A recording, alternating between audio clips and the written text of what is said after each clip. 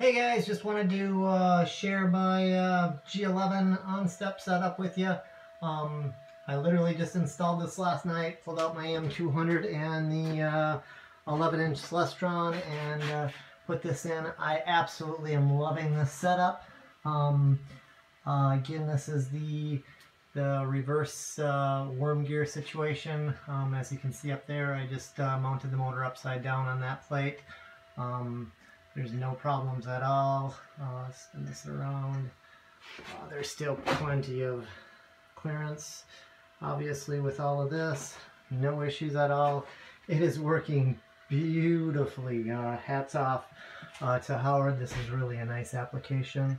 Um, everything in here is just great. The only, uh, I guess, uh, comment I think Howard even made was if you do have the G11, this is one of the older ones. The newer ones, I believe, have a little, um, have three posts or something that stick out. That's obviously going to hit your motor if you have it.